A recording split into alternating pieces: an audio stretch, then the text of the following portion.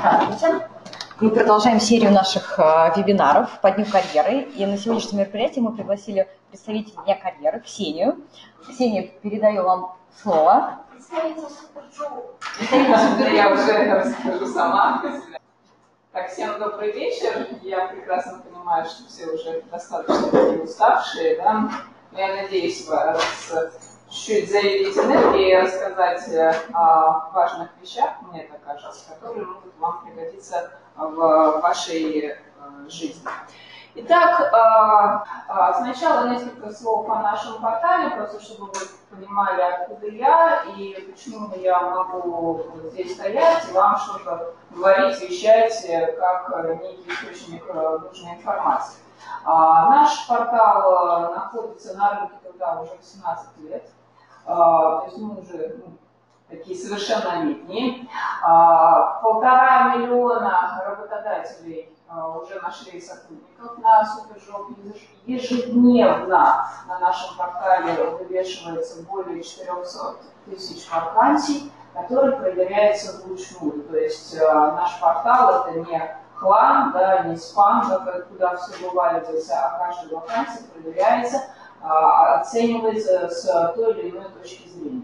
Ну и 10 миллионов – это наша ежемесячная аудитория. То есть у меня огромный, огромный сервис. А, и что мы делаем? Мы помогаем соискателям находить работу, а работодателям, конечно же, находить э, сотрудников. То есть мы такая, такое некое связующее звено. Знаем потребности соискателей и знаем потребности работодателей.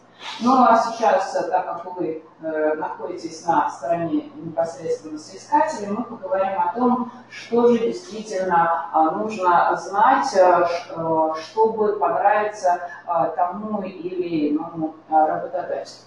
Начнем с того, какие навыки и личные качества наиболее востребованы в сегодняшнем мире. А, посмотрите на данный слайд. Я думаю, вы можете э, увидеть, э, что самое главное является это ответственность с точки зрения работодателя. Да, 8,6%. С точки зрения там, разделения на мужской полуженский это 7,5% и 8%. Следующее, на что обращает внимание а, работодатель, это а, коммуникабельность и стрессоустойчивость, а, также обучаемость и целеустремленность. Здесь э, представлены такие вот фразы, которые очень часто употребляются в той или иной вакансии. Мы попробуем с вами, когда будем говорить о резюме, уже э, непосредственно их разобрать, потому что под словом коммуникабельность под словом стрессоустойчивость э, каждый работодатель видит непосредственно свое. Поэтому, э, ну просто чтобы вы понимали, да, каким образом оценивает работодатель ваши непосредственные качества. Еще раз повторю, ответственность, коммуникабельность, стрессоустойчивость и обучаемость. С ответственностью у нас на рынке труда огромные проблемы, потому что все упирается в отношения к работе сожалению.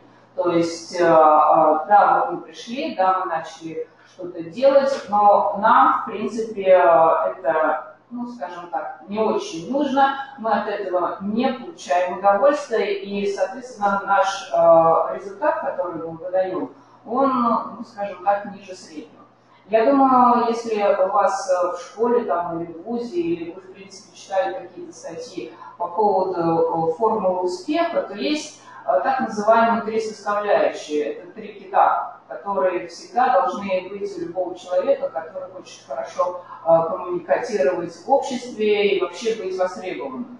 Это «хочу, могу и надо». А, если вы посмотрите на любого успешного человека, то он эти потребности свои действительно реализовывает. Еще разок проговорю, тогда, может, кто-то не знает, да, что заключается а, под этими тремя словами. Хочу – это мои интересы, это мои склонности. Могу – это мои способности, это состояние здоровья, это темперамент. И надо – это анализ рынка труда. А, проговорю про могу. То, что вы можете хорошо делать, да. А, темперамент, я думаю, вы прекрасно понимаете, что если вы, например, холерик, а, вам нужно идти, предположим, на завод и ежедневно выполнять рутинную работу, соответственно, она не будет приносить вам удовольствие, соответственно, уровень ответственности упадет, и как бы а, то, что вы производите на рынок труда, он никому не нужен.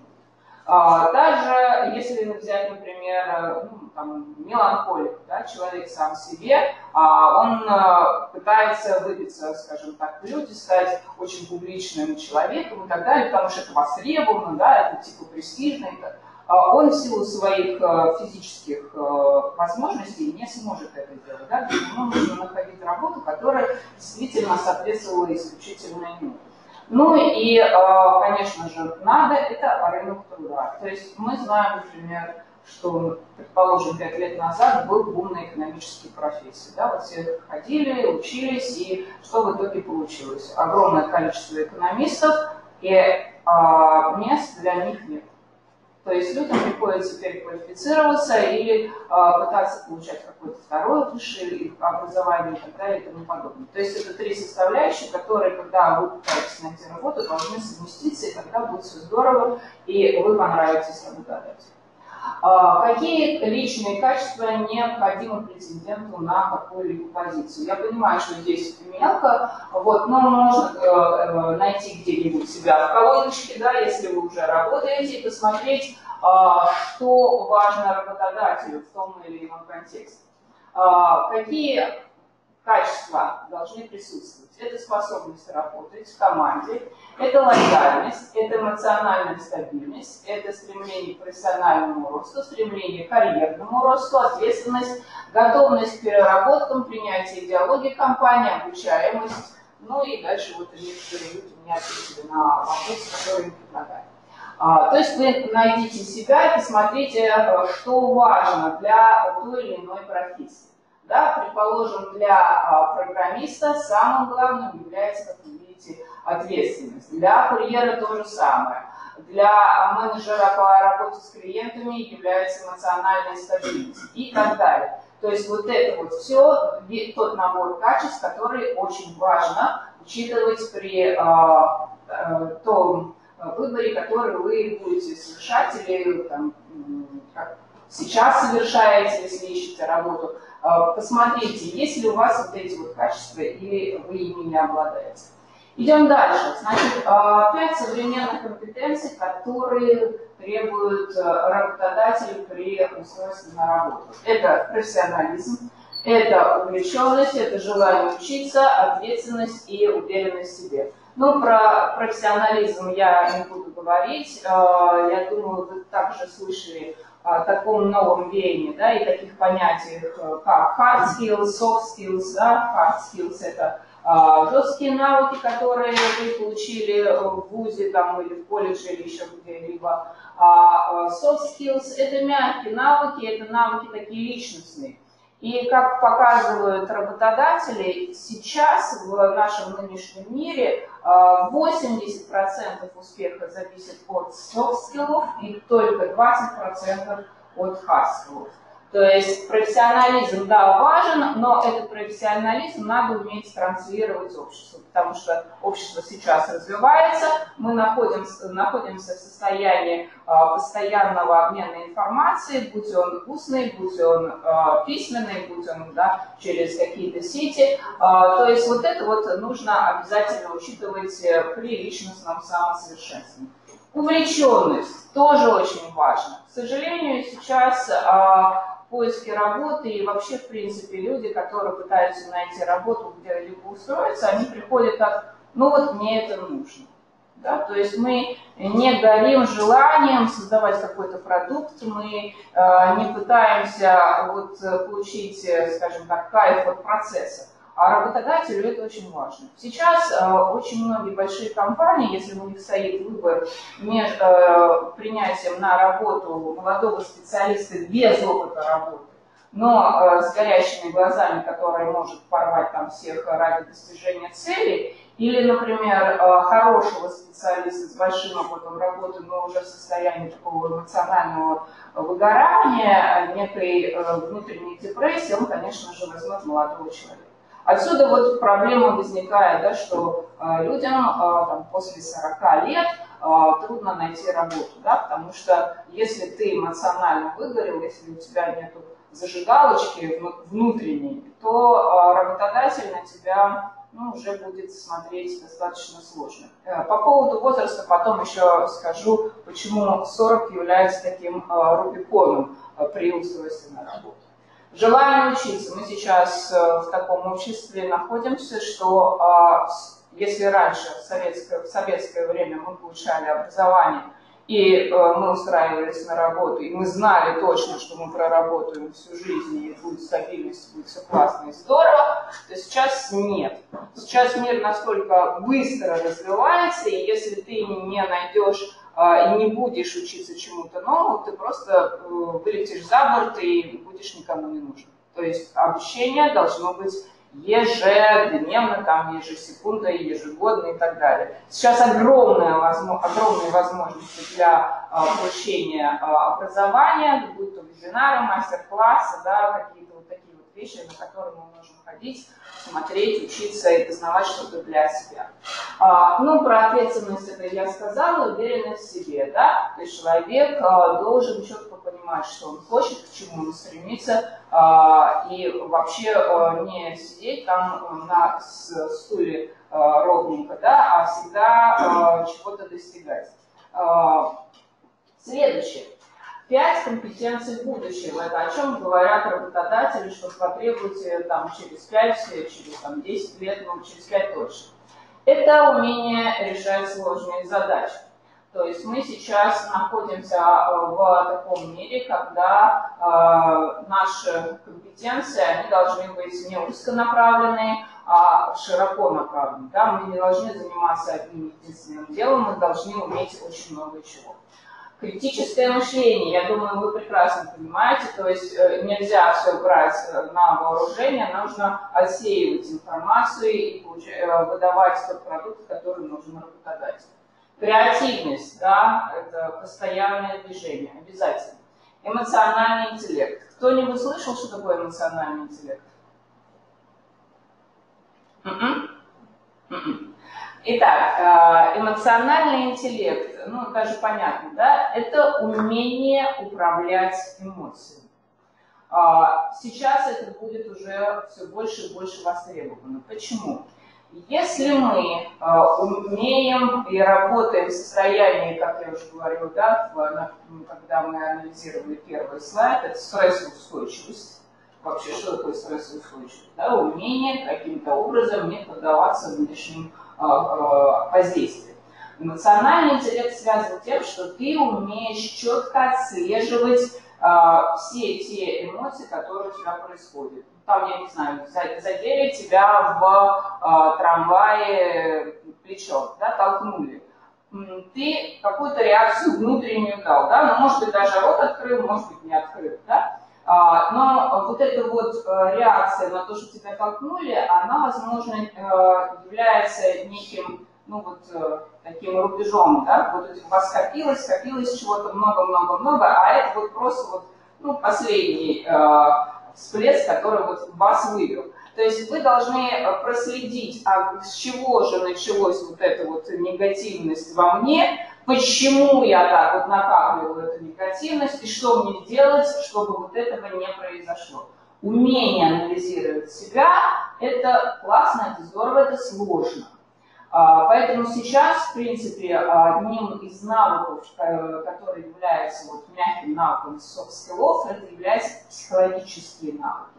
Вот чем больше мы знаем о психологии человека, тем лучше. Потому что а, мы, если умеем овладеть своими эмоциями, мы знаем, почему человек так или иначе на нас реагирует. А если мы знаем, как человек на нас реагирует, мы можем манипулировать.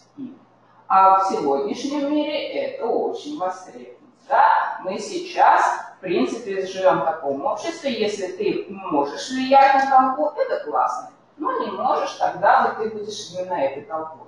Поэтому эмоциональный интеллект э, сейчас очень сильно развивается. Понятие гибкость. Кто-нибудь представляет, что такое гибкость? Но не только.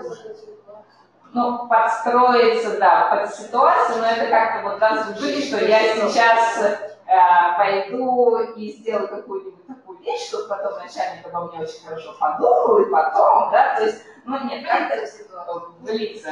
А, умение быстро реагировать на изменяющие обстоятельства.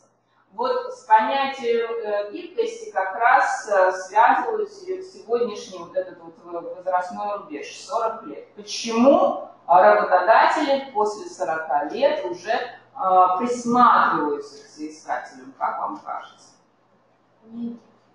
А в чем это выражается?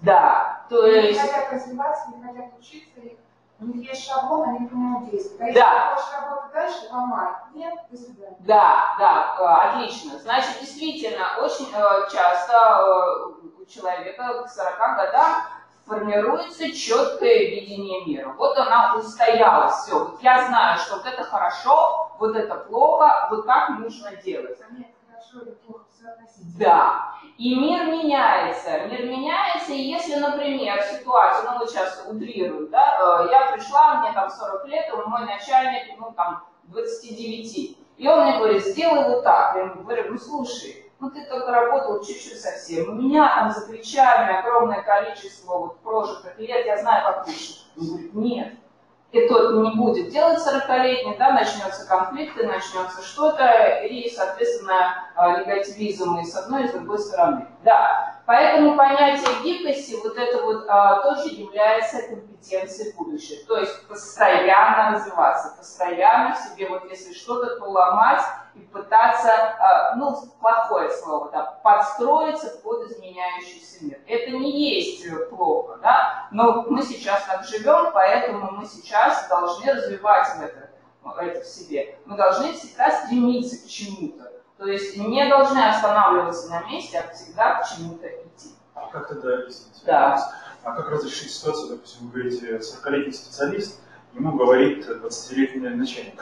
А специалист э, узнает, как есть в теории, как есть на практике, что на практике, естественно, отличается. Он знает, что э, этот способ либо не будет работать, либо он будет работать неэффективно. Как ему донести начальнику, что э, так неправильно? Своими действиями исключительно. То есть вы не вступаете непосредственно в конфликт. Вы делаете так, например, всегда же работодателю не нужен процесс ему нужен результат. Поэтому если вы сделали работу так, как вы считаете нужно, и есть результат, вот пришли к начальнику, показали результат, сказали, вот то, что вы говорили, извините, а я сделал по-другому, и вот получите. Тогда он увидит это. Но еще скажу а, по поводу возраста, когда а, в принципе пик развития и топовые позиции, которые занимают люди, это 35-45 лет когда вот уже все можешь, все знаешь, и еще не полностью так очерствел и песочком покрылся, да, но это я утрирую, да, конечно же. Вот, то есть а, топовые позиции исключительно вот такой вот возраст. И дальше даже, а, в принципе, если, а, опять же, человек, который является гибким, человек, который является очень ну, таким востребованным, активным, можно и 40, 60 лет работу найти. Я, э, ну так, забегая вперед, вот про, мы будем говорить про резюме, там э, есть, например, колоночка «Дополнительные сведения». Взять, например, если ты рассказываешь миру с точки зрения э, резюме, если ты пропишешь, например, тебе 60 лет, да, что ты, там, например, зимой занимаешься э, горными лыжами, а летом ты занимаешься э, подводным плаванием, то работодатель, конечно же, на эту дополнительную маленькую запись обратит внимание и поймет, что ну, крутой чувак. То есть он не упадет с инфарктом, с инсультом, если там будет что-то да, стрессово после первого дня там, работы и так далее. То есть это важно. Э, мы все живые люди.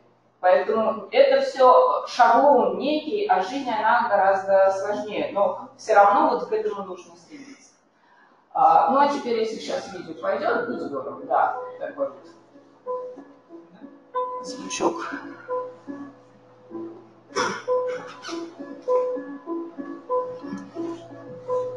Да.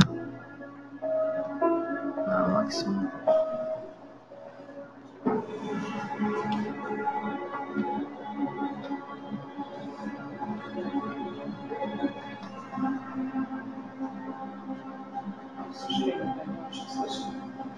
Колонки на полную громкость стоят. Да, на полную.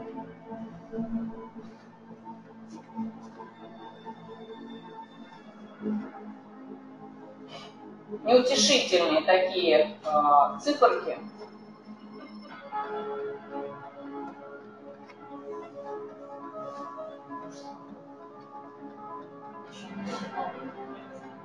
Траектория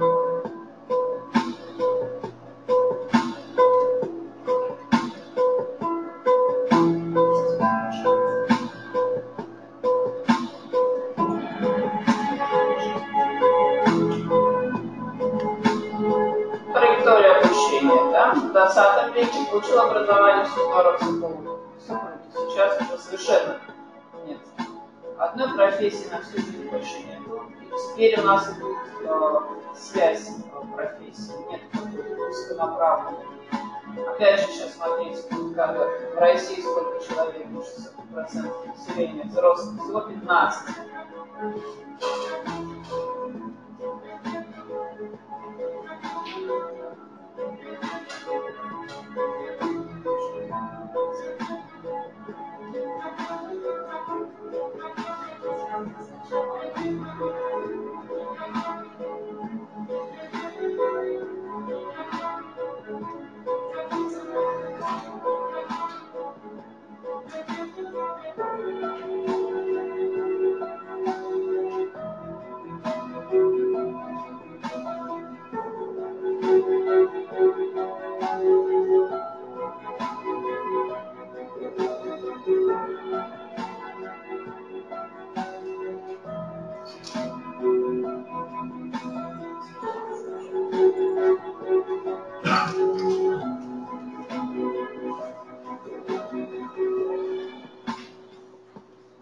такой мотивационный ролик. А, Значит, э, суть в чем?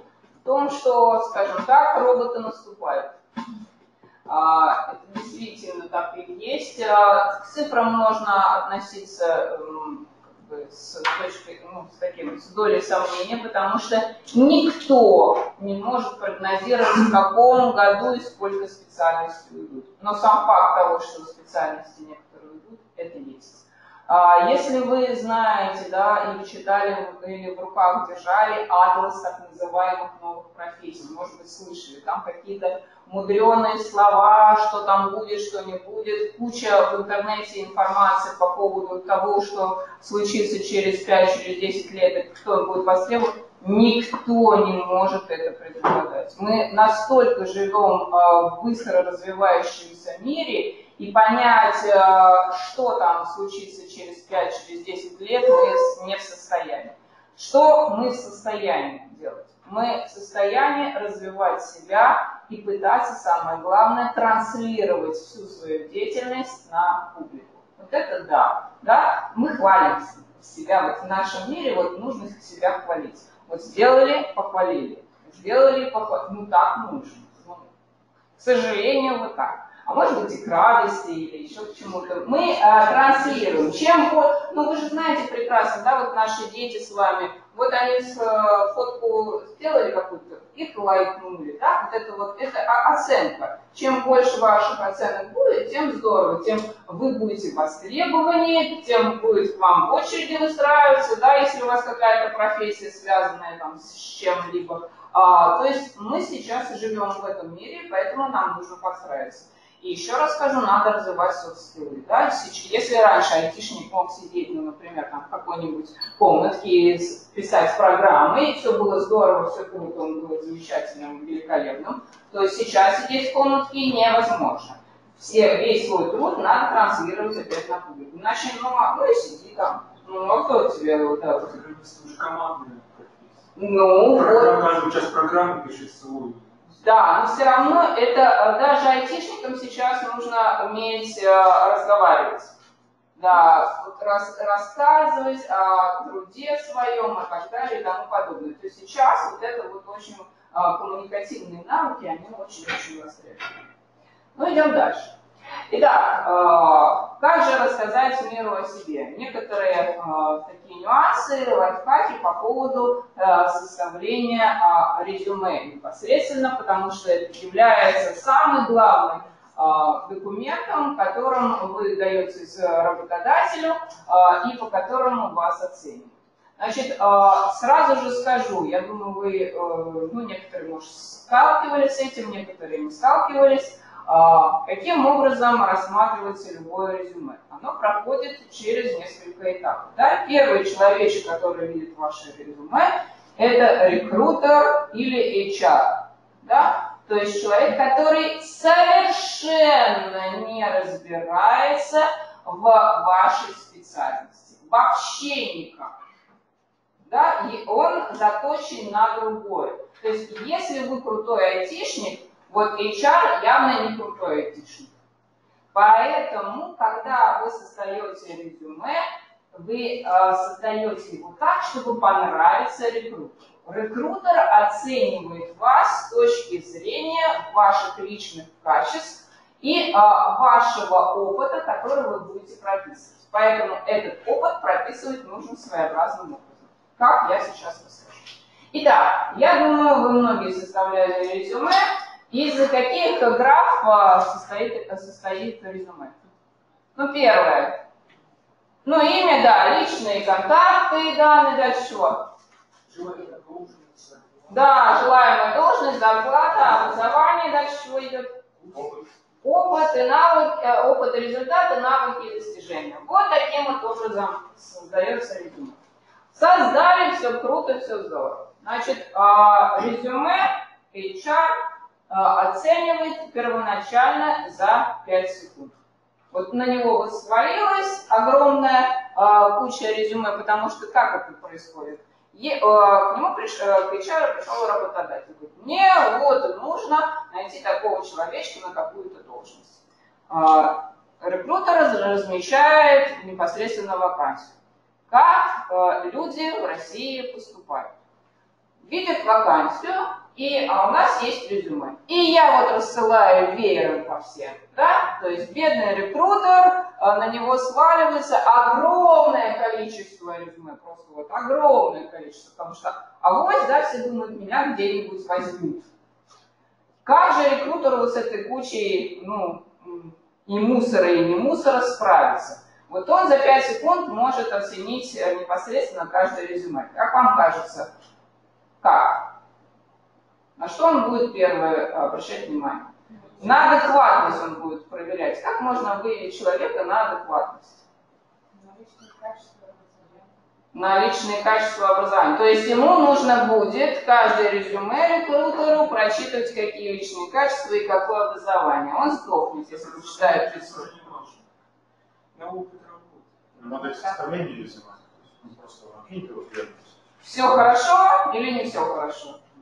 Может, Еще варианты какие есть? На дату формирования. Ну, так. Еще есть мысли? На структуру. На должность, которую тебе Итак, ну вообще на адекватность выявляется вот так. Все легко и просто. Вот смотрите, да, а, это живые примеры с нашего портала. Как люди ищут работу? Резюме – это документ, который ты отправляешь работодателю. Вот мне вот это очень нравится. Вот учитель начальных классов. Это здорово, что ты красивый, у тебя накачанные губы и прочее, прочее. Но а, я не думаю, что, например, а, какой-нибудь здравомыслящий родитель вот отдаст своего ребенка вот такой мадам. Да? Или крановщик-автомеханик. Что он вот этим вот образом хотел доказать? Что он классный крановщик или автомеханик? Вот что? Секретарь, а, системный администратор, мастер маникюра. Вот люди вот таким вот образом себя позиционируют. Значит, что мы с вами а, можем сказать и что понимаем, да? Что фотография это а, ваш внешний вид, это а-ля паспорт. Поэтому первый взгляд рекрутера это на фотографию. Ее можно включать, да? можно не включать. Но если вы включаете, то это должно быть вот что-то приблизительно вот такое. Да? Можно спокойно делать селфи, но опять же, мы же тоже любим креативить. У нас Россия, она вообще креативная такая страна. Да? Мы себя фотографируем, а там сзади какой-нибудь фон шикарный. Да? Или девушки тоже, меня просто вот очень нравятся фотки. Я лежу на пляже в бикини, да, вот и сплошь и рядом, если резюме а, составлено летом, вот такие вот фотографии есть. Для чего? Что ты этим хочешь сказать? Значит, а, вот такую фотографию рекрутер видит, все, резюме в помойку. Вот даже не будет смотреть, вот, вот что дальше. Это ваша адекватность. Это явно люди, ну, я грубо сейчас скажу, да, но не в себе. Ну, ты же понимаешь, что ты делаешь или не делаешь.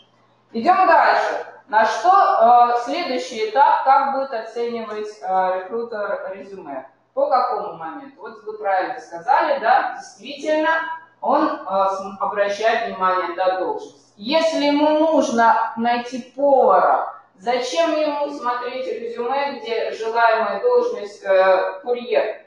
Вот зачем ему это? Он, курьер что, будет классным поваром? Нет, конечно же. Значит, первое, на что обращает, ну второе уже, на что обращает внимание, это на должность. Не прописанную желаемую должность, все, помойку. Следующее, на что он будет обращать внимание. Ну, желаемая зарплата, да, а, в принципе, возможно, а, значит, что вы должны понимать. Очень часто люди а, пишут зарплату по договоренности. С какого момента вот это вот по договоренности проходит? Выше 150 тысяч. В нашем мире выше 150. До этого вы должны четко понять, сколько вы стоите на рынке как это сделать? Заходим на сайт, смотрим вакансии на ту должность, на которую вы хотите. Смотрим минимум, который предлагает работодатель, смотрим максимум, берем серединку и пишем в своем резюме. Да, зарплату. Так, дальше что еще? А, опыт, действительно, дальше навыки, достижения. Только потом смотрит на образование и только в конце уже на личные данные и контакты. А, такой хитренький вопрос. А скажите мне, пожалуйста, а почему же везде, на всех порталах, не вот так вот висит резюме, а наоборот? Почему всегда спрашивают личные данные, контакты? Потом образование. Потому что возраст их не устроит. А они, нет, э, там система переводит вот так вот. А, ну, вообще, в принципе, это такой некий маркетинговый ход, чтобы вы знали. Да? Что я лучше всего знаю себе? Как меня зовут? Я знаю хорошо. Как меня зовут? Следующее. Что я знаю классно? Какое у меня образование? Да, мы все учились, напишу. А дальше начинается боль. Дальше нужно же прописывать опыт, результаты, навыки. Это вообще просто вот это, с этим беда.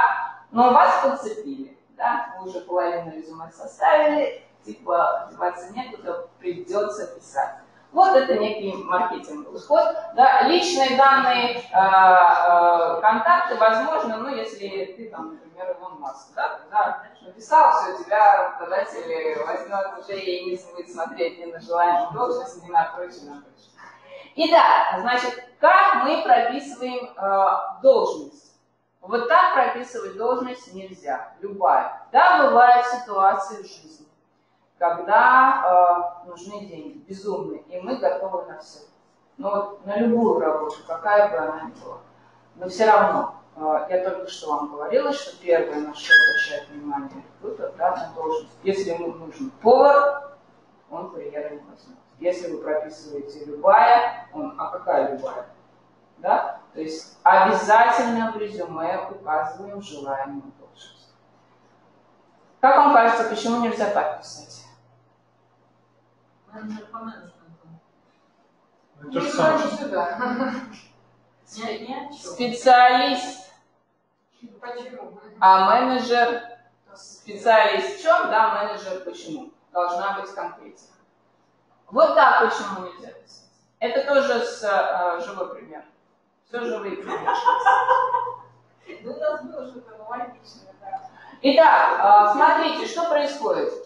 А, а, Вот такой, это э, живой человек, который в должности прописал, вот следующий момент. Он классный, причем он классный во всех областях. Но его резюме рекрутер вывалил бы в помойку. Почему? Что делать в таком случае? Отдельно, да. Да, на каждое должность желаемое создавать отдельное резюме. И к каждой должности прописывать тот свой опыт, который нужен, и те навыки и достижения. Ты классный повар, прописал, что ты классный повар. Ты классный кинолог, прописал, да, массажист, экономист и так далее. Ни в коем случае а вот таким вот образом мы не пишем. А, На нашем портале 6 максимально. Больше мы не встречали людей, которые бы обладали бы более шести профессий, да, и были бы действительно востребованы. Поэтому мы четко указываем а, желаемую должность. С этим разобрались. Идем дальше. А, личная информация. Сейчас посмеемся чуть-чуть, но я опять же рассказываю то, что есть. А, Что мы видим в личной информации? Я составляю себе резюме, почему-то в контактах пишу контакты мамы, папы и так далее. У нас тоже был живой пример. А, Мама устраивала на работу 41-летнего мужчину. Было вот такое. Она говорила, что лучше э, ему, э, сынку ее и вообще э, нам вмешиваться в жизнь ее просили, много этого не делать, да, что она все знает, все классно, просили пообщаться с сыном, нам не дали контактов с сыном, ну, вот так вот. Такое в жизни тоже, встречается. Поэтому пишем исключительно контакты. В адресе прописываем номера квартиры, некоторые даже чуть ли домофон не указывают, да? Не знаю, работодатель биск, что принесет. Возможно, да? И вот такой вот просто вот, чего мы только не видели, чего мы только не насмотрелись. Да, вот а, почта вот таких вот смешных и идиотских видов. Я про себя скажу. Я вот, а, ну, меня достаточное количество лет, я с тысячу лет назад создала почту Ксюшка Пол, у меня э, Ксения Большакова, да, вот.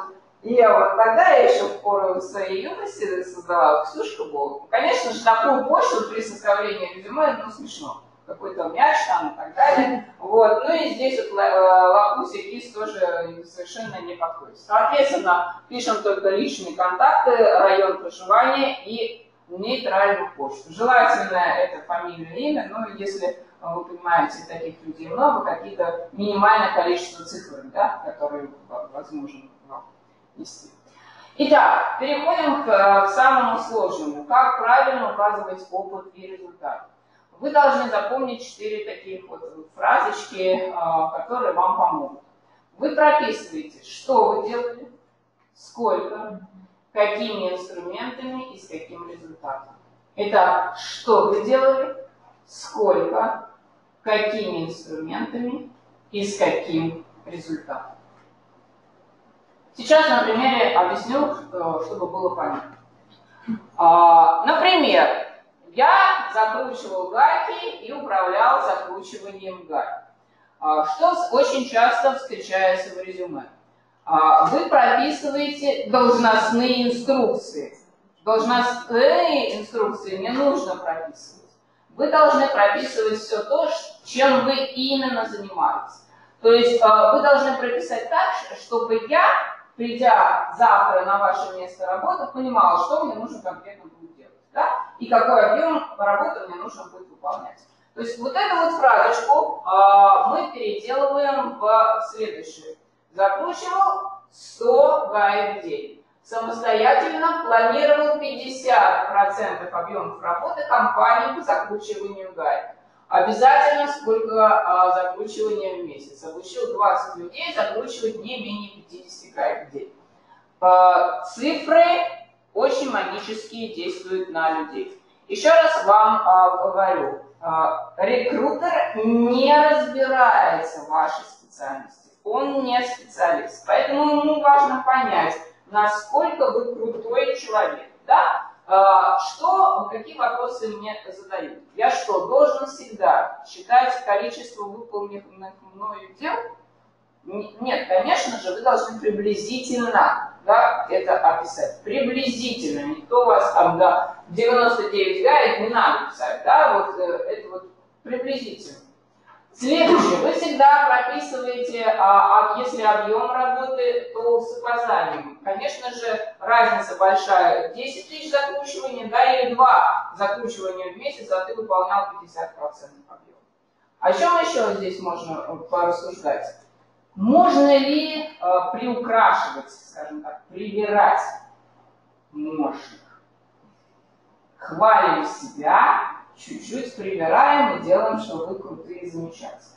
Но а, помните о том, что если вас взяли, да, и а, вы написали, предположим, что вы закручивали 500 гаек, и вы так посчитали, что сможете это сделать, поэтому написали 500 гаек, вас взяли, а вы на испытательном сроке 500 гаек не закрутили. Соответственно, провалили испытательный срок и на постоянное место работы вы не устроитесь. Да? Поэтому, если чувствуем в себе возможность и желание, что да, действительно, я больше этого сделаю, тогда пишем больше. Если не чувствуем, тогда лучше не рисковать и писать ту правду, которая есть. Идем дальше.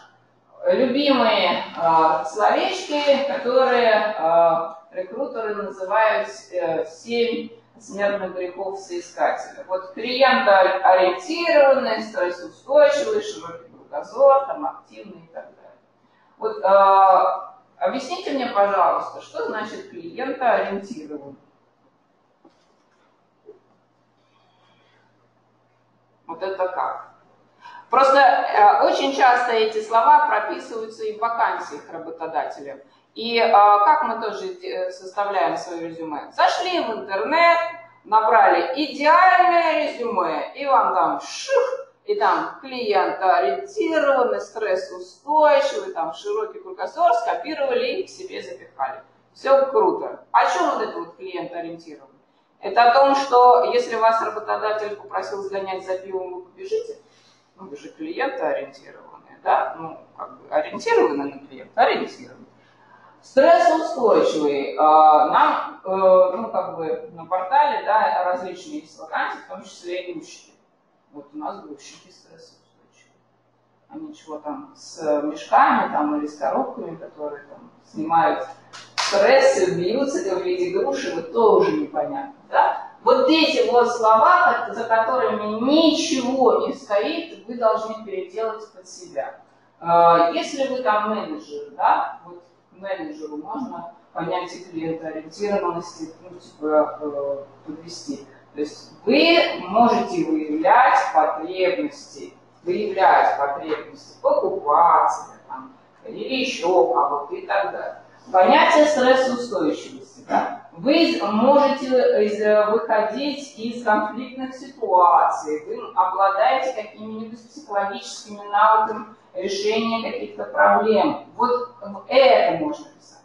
А, Слово стрессоустойчивый вы можете написать, если вы занимаете какой-то там э, руководящий пост, и вы работаете там 25 часов в сутки, у вас в подчинении а, 100 человек, и вы уже под конец рабочего дня находитесь там, если один затупил, второй затупил, третий, да, тогда и вам вот, дай бог, и не сорваться и не превратить кого-нибудь в грушу, да, тогда да, вы можете это написать стрессоустойчивый, а вообще, в принципе, чему это?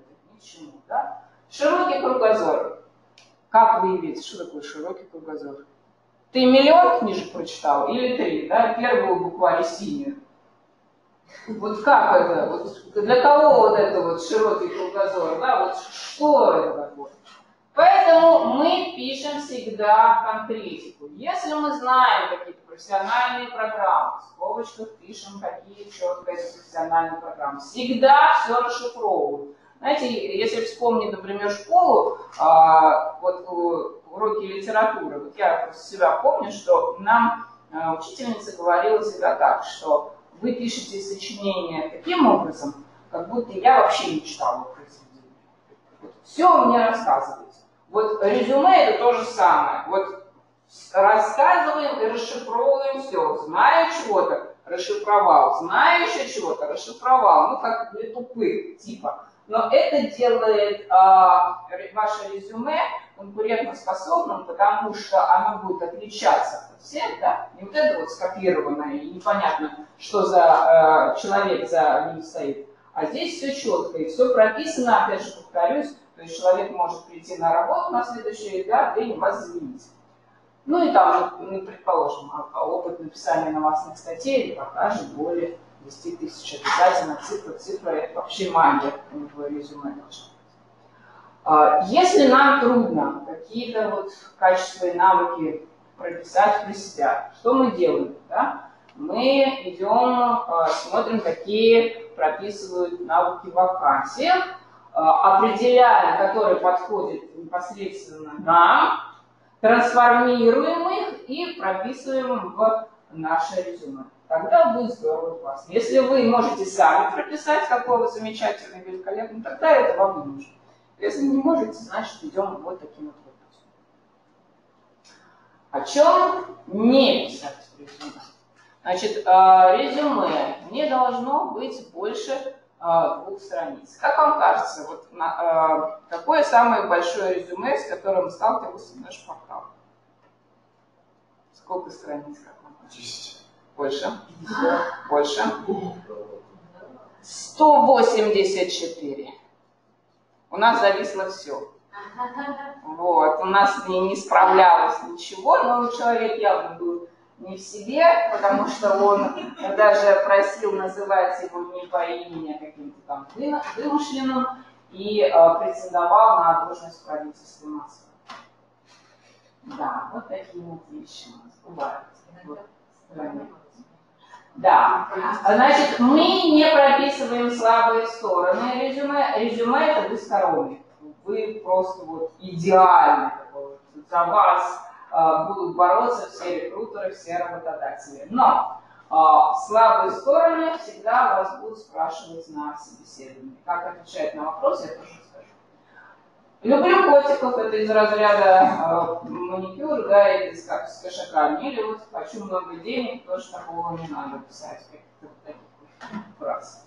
Ну и последняя э, фраза, о чем идет здесь речь. Умею пользоваться сектором. Очень часто мы до сих пор видим в резюме такие фразочки, как «Уверенный пользователь ПК», да, если 15 лет назад это бы прокатило, и вас выделил бы этот навык из массы всех остальных, потому что тогда а, уверенный пользователь ПК это здорово, это круто и все, то сейчас у нас все уверенные пользователи ПК. Зачем писать уже обычные вещи, которые все, все умеют делать? Вот таких вот вещей мы не, не пишем.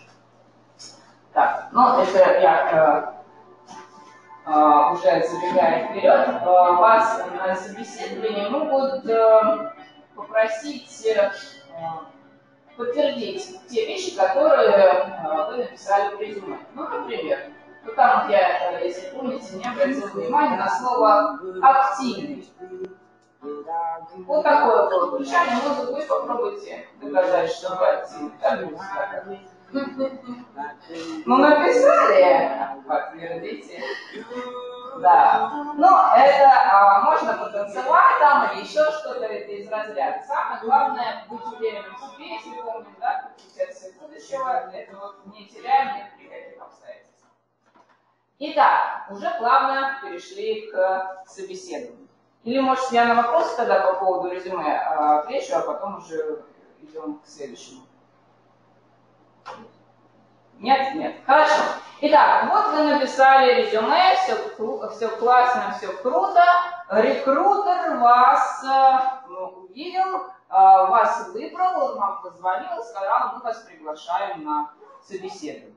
Да? А, какие бывают э, собеседования? Самый известный вид собеседования – это структурированное собеседование, когда вас приглашают, вы садитесь э, напротив рекрутера и в форме диалога общаетесь, да, сидя за случаем и так далее. Такой элементарный, часто встречающийся вид собеседования.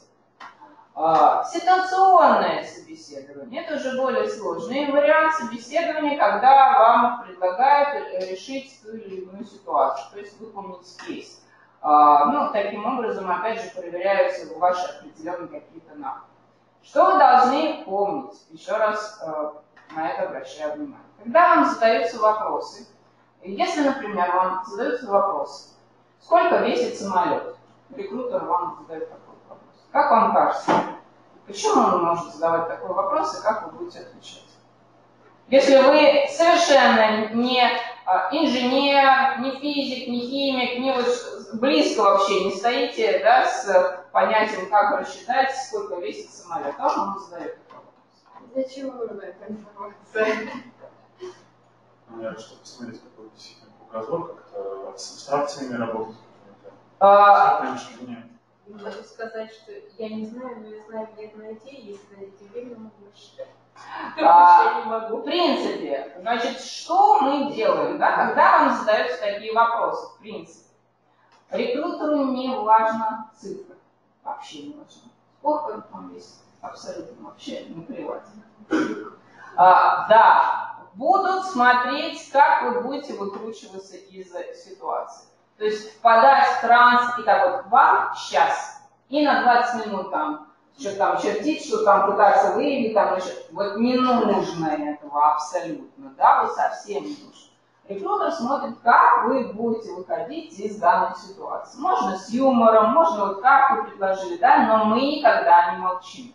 То есть это вы должны уяснить. Всегда разговариваем, всегда пытаемся выйти на э, тот или иной вариант ответа. Значит, ситуационное собеседование, оно связано с решением тех или иных задач. Есть еще э, различные собеседования, это проективные э, собеседования, групповые, но групповые понятно, когда там ну, набирают, не знаю, кассира в Ашан, да, там собирают кучу людей, э, дается задание, они там все выполнили, кто лучше выполнил, тех взяли, да, но это так вот, когда массовый, массовый набор, когда ищут все-таки специалисты, всегда так общаются. Ну, могут еще не это, это несколько людей пригласить, э, связанных э, с вашей будущей деятельностью. А, проективное собеседование, оно достаточно сложное, поэтому эм, его редко используется в России, в нашей практике, но тоже есть такой вариант, когда а, вас просят э, а, ответить на вопросы, связанные с какой-либо жизненной ситуацией. Ну вот предлагают вам ситуацию, говорят, как бы вы поступили в этом случае, да, или оцените, правильно человек поступил или не правильно. И дается определенный промежуток времени, вам задаются быстренько вопросы, и вы, не задумываетесь, на них отвечаете. Э, что рекрутер в итоге получает? Когда вы оцениваете какую-то ситуацию, вы всегда применяете свой жизненный опыт. Можете послушать, как лично. Да? Но э, к этому надо готовиться, так же, как и, например, к собеседованию по компетенциям, когда создается некая шкала, э, которую нужно под э, каждого э, соискателя прописать, и э, рекрутер должен посмотреть, насколько вы подходите.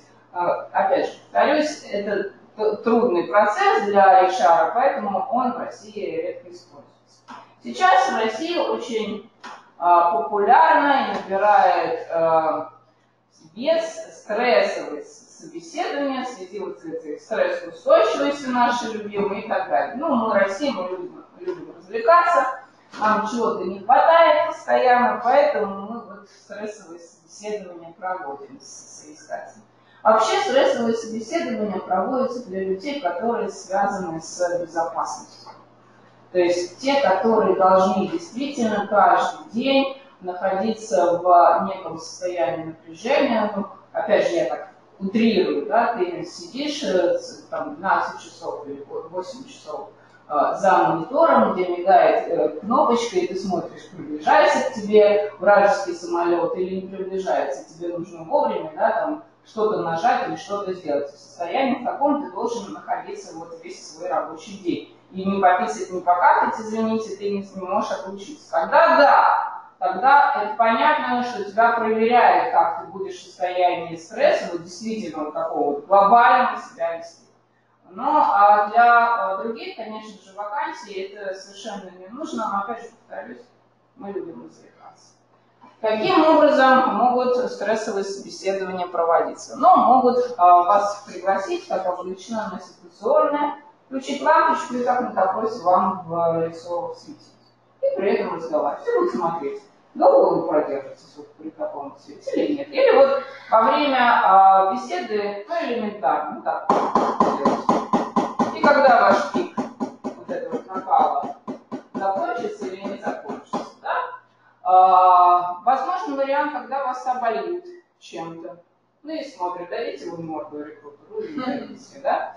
А, возможен вариант, вот у, студенты, с которыми э, я общаюсь, у меня большая, как бы я работаю преимущественно со студентами, они мне рассказывали, девушка одна рассказывала, как она устраивалась на работу и какой вид стрессового, стрессового собеседования был. Ее пригласили, сказали, взяли за ручку, сказали, ну пойдемте там, Наталья, запихнули ее в комнату и закрыли дверь. А в этой комнате сидел ребенок четырехлетний.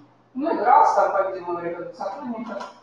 И она такая, а, типа, классно, что он не заплакал и не заорал при виде чужой тетки, которая вот здесь вот валилась за дверь. А если бы он заорал и заплакал, он говорит, а я не знаю, как с детьми и себя вести, и вот так вот вы выходите из этой ситуации, она провела как бы полчаса в этой комнате, потом ее э, раскрыли, вывели в лица, и дальше уже нормально э, проводили собеседование. Возможен вариант, когда вас заставят ждать. А, причем время ожидания достаточно большое. У меня был опыт 4 часа. То есть привели, сказали, да-да-да, присаживайтесь, сейчас рекрутер к вам подойдет, все будет здорово, все классно. А, предложили чай, кофе, ты уже 500 раз чай, кофе выпил, да, тут вот мимо тебя жизнь не проходит, кипит, а ты все сидишь бедный и так далее. Да? Люди очень многие не выдерживают и дверями, уходят. Вообще, в принципе, для чего вот это вот все проводится и как на это все реагировать. Вы никогда не узнаете, какой вид собеседования будет с вами придем. Никогда. Если вас приводит в состояние вот такое вот длительного ожидания, непонятных чего-то, да, какие-то э, каверзные вопросы вам задают, я потом об этом скажу. Самое главное, не впадаем в панику, не впадаем в ситуацию ажиотации, да, и никому там морду не бьем. А, спокойно себя успокаиваю, там дзен, все дела, да, то есть все должно быть классно и великолепно. А, да, но это если вам работа как бы нужна, и вы действительно хотите э, работать в той или иной компании. Что вы должны четко уяснить?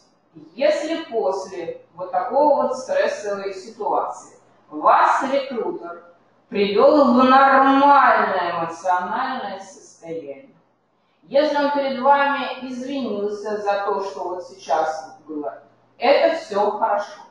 Если там, извините, какая-нибудь тетка в состоянии климакса просто решила над мужиками поиздеваться, бежим от этой компании далеко и надолго. Там сидит не профессионал, да, и вот здесь работать не нужно. То есть рекрутер, который имеет, берет на себя право проводить стрессовое собеседование, должен обладать психологическими э, способностями выводить человека в нормальный эмоциональный фон. Обязательно это должно если же нет, значит просто над вами поиздевались. Но вы запомнили, да, что себя сдерживаем, если действительно пытаемся каким-то образом нормально вести диалог без вот состояния диктации. Какие вопросы работодатель чаще всего задает? Ну, почему вы уволились с прошлой работы? Как вам кажется, почему вот такие вот вопросы задаются? Что важно посмотреть? Чтобы понять, э, не уйдет ли он с этой работы, то есть, допустим, ну, такие же есть э, моменты, чтобы из этих моментов он не ушел. А, да, Начали жаловаться. О, да, вот. Вот это, это действительно так. Значит, э, рекрутеру важно услышать ответ положительный о предыдущем месте работы. Даже если предыдущий работодатель был козел, все равно об этом мы не говорим да, мы говорим, что я ушел, потому что вот потому что, потому что, да, какие-то другие э, характеристики, дорогие слова э, подбираем. Э, рекрутеру важно понять, что вы, вы, если вдруг что-то не сложится на этом месте работы, не будете хаять этого работодателя. И таким образом не создадите плохой имидж о компании. Вот поэтому задаются такие вопросы. Личные вопросы.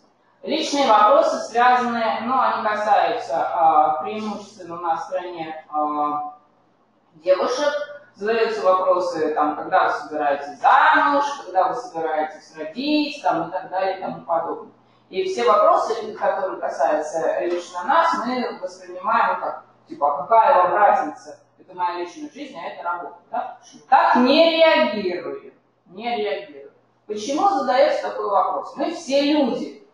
Если, например, я рекрутер, я нашла классного специалиста, э, а она взяла и через 9 месяцев э, ушла в декретный отпуск. Что приходится? Мне опять придется выполнять ту же самую работу. Но никто не хочет выполнять одну и ту же работу дважды. Поэтому задаются такие вопросы. Мы отвечаем так, э, там, например, да, сейчас я не занимаюсь там, личной жизнью, для меня сейчас самая главная карьера, даже если вы через 9 месяцев. Вот так. Что еще может быть? Под вопросами э, личными. Ну, например, э, как часто вы мастурбируете?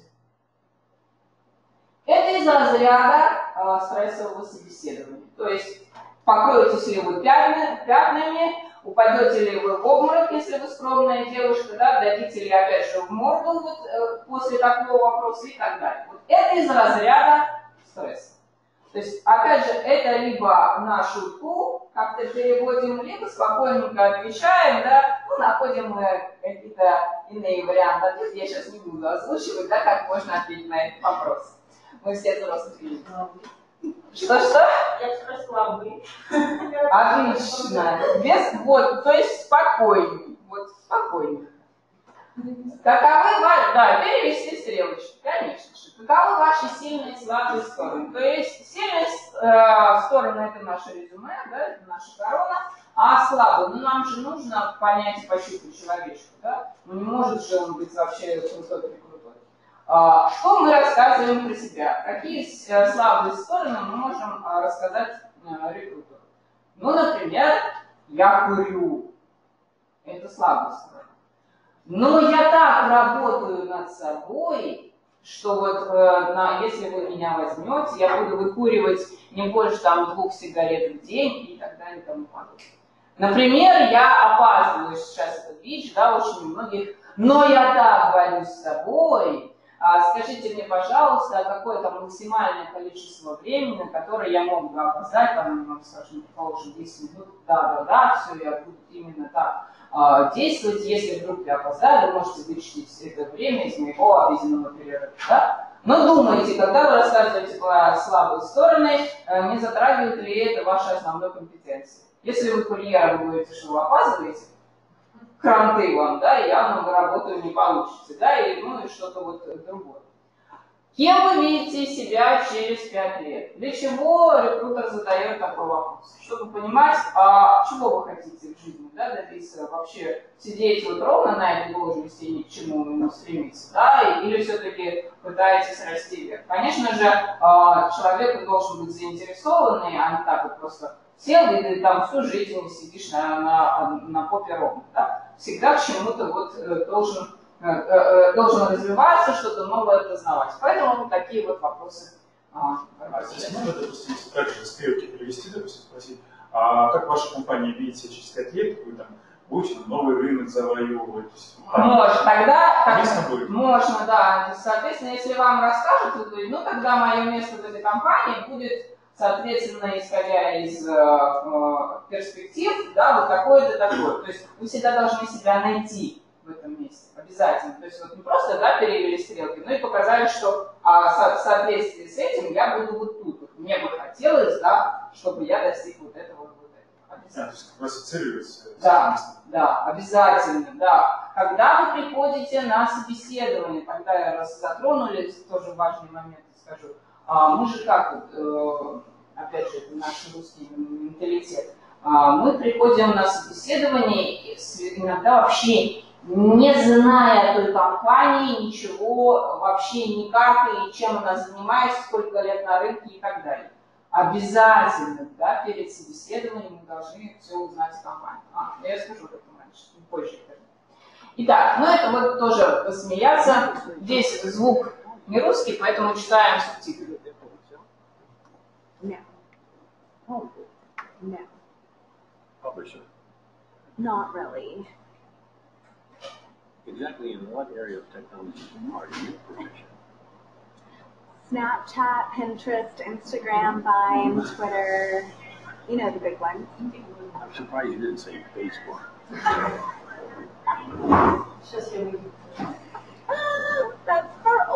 people like my parents. well, anyway, when you're working for me, you have to have those kind of research skills because they'll send you things for you to comb through and get the answers and send them to me. So for that, you've got to be really good at technology. For stuff like that, no problem. I'll just ask Siri. I'm not sure you still just ask Siri. You know, Siri, tell me this. Siri, find me that. We're all good getting you the answers. Tell Siri I want you ready to go at 8 sharp each and every morning. I don't understand What don't you understand? what you just said. You don't understand you ready to go? No. You said eight, right? Yes. Eight, like in the morning, eight? Yes, in the morning. Yeah. That kind of doesn't work for me. Who gets up at eight? I do. I Skype with my French boyfriend in Paris until like three in the morning. I don't even get to Starbucks until like ten, where I order my grande chai tea latte, three pumpkin milk, white water, two percent foam, extra hot but not too hot. So if it's okay, I work best in the morning at ten forty-five.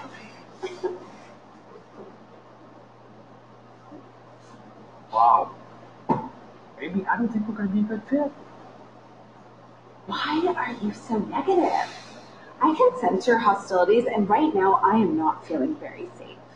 I've been here for over five minutes, and the only nice thing you have said to me was nice resume, which I typed all night for this meeting with you. You've given me no guidance, no validation, no encouragement, no supervision. Is there an HR director somewhere? HR director? Yes, I need to speak to someone. I may have to take off today as a mental health day. Take the day off. You... Amy, Amy, look at me. You don't work here. Are you firing me? Okay, yeah.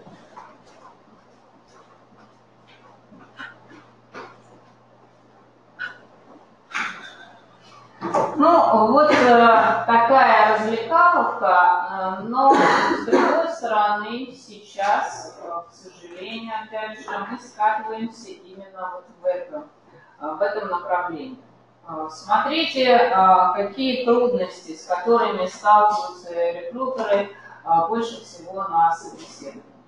Завышенная самооценка, неадекватная оценка своего, своего уровня.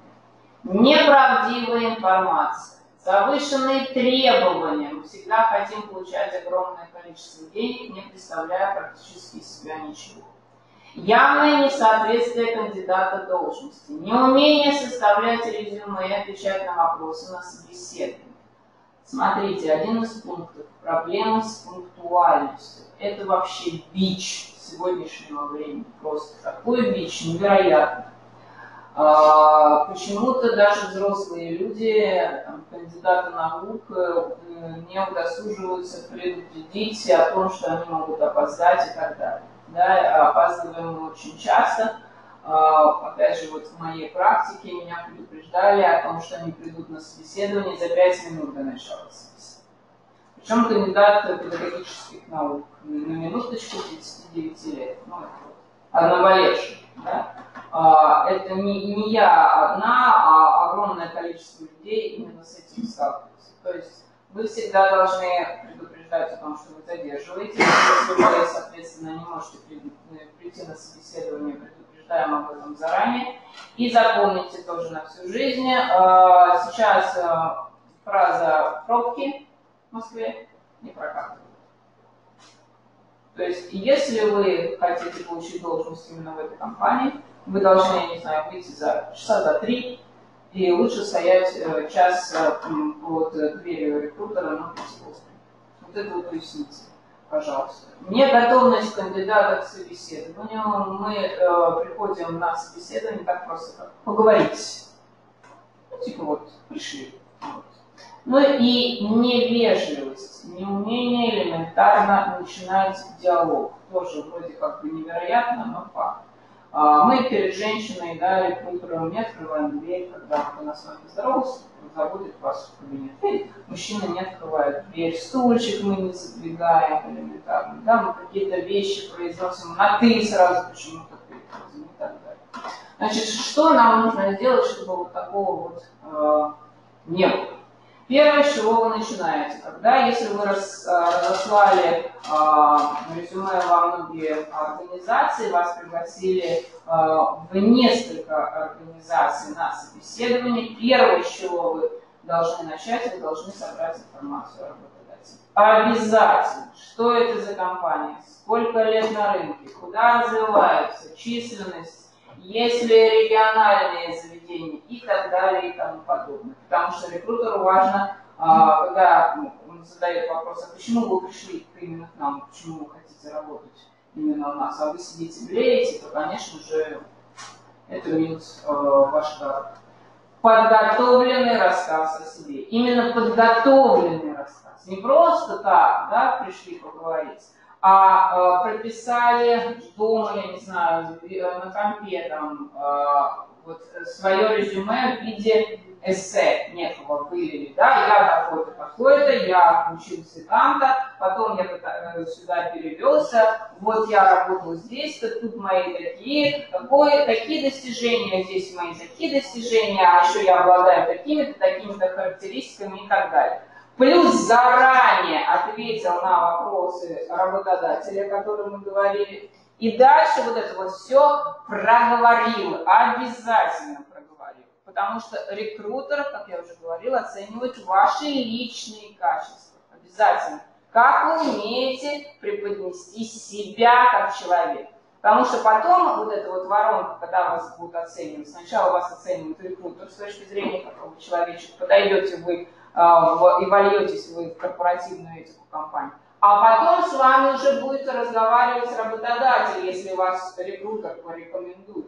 И работодателю уже нужно будет ваше вот hard он уже не будет смотреть на вас как на человечка, он будет смотреть на вас как на персонал. Но первый отсеивающий отбор это рекрутер, вы должны ему понравиться. Да? Если у вас есть возможность, например, выбирать время для собеседования, выбирайте всегда утро. Почему? Рекрутер еще ни с кем не пообщался, он э, к 7 часам вечера да, еще не устал от э, разговора с энным количеством людей, и вы еще на эмоциональном подъеме. Поэтому вам легче будет преподнести себя. Вечером, конечно же, это сделать сложнее, потому что ну, мы все уже устаем, да, ну, э, явно мы не спали весь день, да, явно мы чем-то занимались, поэтому показать, какой вы классный чувак, да, в 7 вечера будет достаточно сложно, чтобы рекрутер обратил на вас внимание. Так вот, возвращаясь, рассказывая о себе, проговорили вот это вот все. Про себя, там, не знаю, перед зеркалом, мужу посадили, там, ребенка, да. Он, вы у него уроки проверяете, а он у вас проверяет, как вы рассказываете о себе. Ну, чтобы было, была обратная связь, обязательно. А, внешний вид тоже очень важно, а, как вы приходите на собеседование. А, ну, предположим, да, возьмем ситуацию 30 градусов жары. Вот в чем должны прийти девушки на собеседование женщины? Вот, да. Голые ноги ни в коем случае, вообще. При, даже при 30 градусной жаре мы одеваем там чулочки тончайшие, тончайшие носы, эти колготочки, да, никаких босоножек, никаких открытых пальцев, никаких вот таких вот огромных шпилек. А, юбка у нас должна быть выше, а, если вы хотите выше, только на фалангу пальца. Никаких вот декольте. Плечи у нас закрытые летом, да, вот такой вот там платьишко или юбочка. А, дальше все огромное мы себя снимаем, стрелок души у нас нету. если у нас длиннющие волосы, ну вот так вот нормально, да, если уже э, выше, то собираем их хвост, пучок и так далее. А, мужики как должны прийти на собеседование при 30 градусах жары? Ну, пиджак нет, пиджак не нужен, да, а, брюки а, ни в коем случае, не джинсы, ни в коем случае, не кеды, не кроссовки, упаси вас Бог, да, какая-нибудь там, я не знаю, рубашка полая или светлая штанов рубашечка. Но думайте, если у вас там все руки в татушках, да, мы руки, все там пирсинги и прочее, все А в сандалиях ни в коем случае. Ни, ни в сандалиях, ни в шортах. У меня было, да, плохо такое. Никогда. То есть про собеседование прошли, в туалет зашли, переоделись спокойно. Э, Зачем э, вот это дразнить э, льва? Да? То есть внешний вид это важно. Невербальные средства. Тоже очень важна характеристика вас. Мы, э, когда, например, нервничаем, а по-любому, какое бы даже собеседование не было, мы волнуемся. Мы ну, либо вот так вот, вот да, сидим мы в закрытой позе, либо начинаем что-то теребить, а, либо еще что-то, какие-то вот возможности. Вот часто очень выводит из себя, а, мужики только этим страдают, они садятся и начинают контролировать. И вот, вот все собеседование, вот это вот кондрашка какая-то непонятная. То есть следим за э, тем, что мы делаем, какие у нас жесты, как мы себя э, подаем. Да? Мы спокойненько садимся напротив, в удобной позе. Да, еще э, забыл сказать. Вот женщины любят так сесть, а мужики любят так сесть. Так мы не садимся. Ни в коем случае. Да? Это неэтично по отношению к э, человеку, который находится против, напротив вас. Ну, речь, соответственно, понятна, да, без жаргона, без ничего. Поведение это по поводу того, как вы себя позиционируете при первой встрече, там уже рукопожатие и так далее. Про пунктуальность я тоже сказала, и настрой. Да, самое важное, а, что вы должны понять, это вы не приходите, да, не сидите, не думаете такой вот с потухшим взглядом, что ну да, я такой замечательный, я вот, у меня такой вот опыт, вот такой вот, и такой тихенько, так спокойненько. То есть вот такой, на, на, на грубо говоря, на серую мышку никто не обратит внимания. Вы должны быть, ну, неким актером, да, то есть вы должны рассказать, что я вот так-то, я вот такой-то, я вот такой-то, секой-то и так далее и тому подобное. Да? А, перед собеседованием мы, конечно, не гуляем, не веселимся, но если вдруг а, у нас была какая-то там тусовка, то следим, что у нас изо рта там выходит, потому что тоже бывает, у меня был один э, молодой человек, который вот бежал так вот, в, э, непосредственно ко мне в кабинет в, в, в, с голыми ногами, такого лета, да, такой, сел, плюхнулся, ну давайте поговорим, и улыбается мне. И так вот и я чувствую амбре такое вот пошло, да, э, ну поговорили мы с ним. Я, конечно, взяла, потому что мне нужен был человек, который работал бы на аудитории со студентами, но сами понимаете. Да, значит, вот а, это уяснили. А, После того, как собеседование заканчивается, рекрутер вам произносит всем известную фразу. Ну, он перезвонил. Сколько ждать? И нужно ли ждать?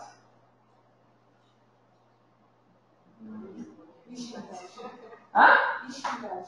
То есть просто собеседование закончилось, и если она вам сказала, мы вам перезвоним, то ищем дальше?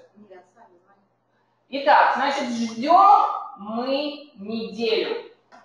Исключительно неделю, потому что вы не одни, рекрутер общается с большим количеством людей.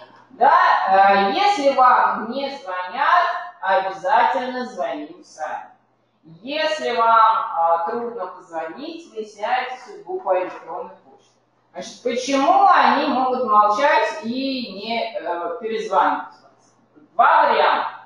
Первый, да, действительно, вы не подошли, и вам надо будет искать другое место работы, либо ва- вас э, проверяют еще разок. То есть это некий последний этап э, собеседования. Насколько вы заинтересованы в получении да- данной должности.